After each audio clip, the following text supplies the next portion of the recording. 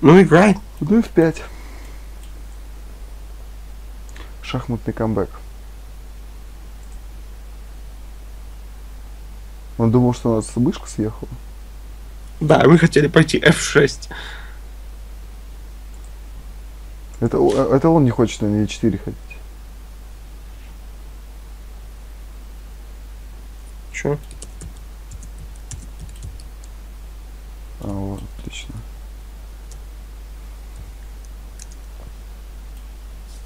Только не бей пешку, я боялся, что ты хочешь взять. Да дай. Ходи.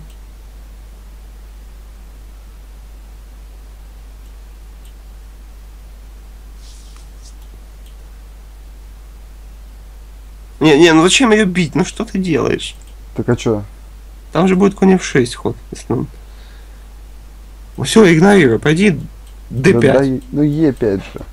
Ну e5 не надо. Так нормально. Смотри, какая хорошая позиция. Всего Да. трех пешек не хватает. Не предходно. Нет, там стоп, стоп, стоп. Слон G6. Слон g6 не страшно. Ну да, вообще. Не даст невозможный ход сделать. Ну, Отличная позиция, по-моему. Чем? Активности? Смотри, вот он не может коня развить. На коне f3 слон g4. Активности? Ну да, сейчас мы пойдем e5. И задавим центром. Не веришь? Конечно, верю. Я просто, меня смущает то, что около нашего короля нет пешек. Ну, Так это же замечательно. В атомный шахмат это то, что надо. Почему? Но н- н- некуда отжертвовать. Ну, в смысле, нечего взорвать. Кстати, Кирилл, где обещанные выпуски-то по атомным шахматам? Это Артему. Всё. Такой Артем хотел с кем-то в паре записывать. Нет, Я в этом не участвовал. нет, нет, я пока не готов. К настолько серьезным изменениям. Что это за ход? Зачем? Хочу слона съесть. Зачем? Мне интересно, как он отреагирует. Скорее всего, побежит. Ну, Отойдет вот сюда. Да, мы возьмем пешку. Мгм. Нет. Но Он не хочет отдавать пешку. Подожди, подожди, ну это... Да король же король же 7. Да, тогда слон f7, черзь f8, слон d5. Король g7, слон f7, ладья h7. Ну, это можно. Давай попробуем.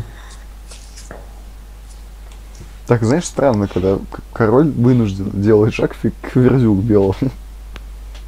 Ну, зато это осмысленный шаг. Вот как белым спасать слона? Так, ну пока непонятно совсем. Бьем. По-моему, все без слона. Замечательно. Король же 7, видимо, был очень сильный ход. Да, выигрывающий. Но если серьезно, видимо, надо как-то отдавать слона за, за компенсацию. Вот так пойти.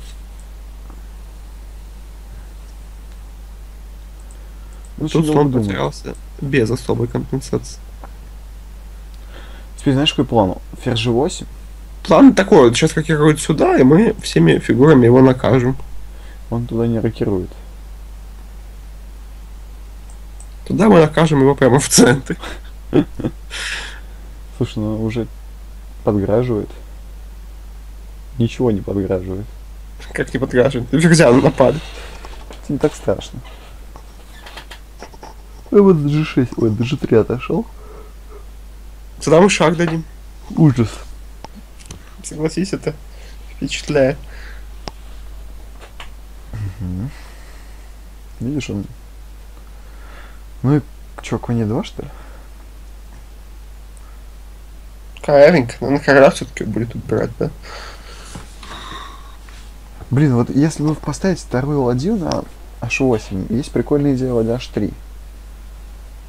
Как тебе бред приходит в голову? Почему? Так ладно. Что вот это за ход? Меняем ферзей силой. Любимый прием. Ну, ферзь F3, пойди, пожалуйста. Ферзь f4 тогда. Чё, От не- моего ферзя не убежишь. Что, нельзя убежать? Иди ферзь. Ферзь D1. Не, ну если он будет настаивать, то я уже не буду меняться. Как вот Это, тут это- это- это уже совсем подозрительно. Конь e5? Есть ход конь e5, есть ход конь h4, есть ход ладья h2. Ладья Есть ход Ждан- ладья о, e8. ладья Ждана нету. Почему? Ну зависает. Кто? Слон. Там ладья зависает на А1 в М. конце. Выбирай. Ладья E1. Е8? Да, ладья E8. Ну, самый слабый ход, по-моему. Почему? Ну, Сейчас мы уже ничего не пожертвуем тут нигде. D4.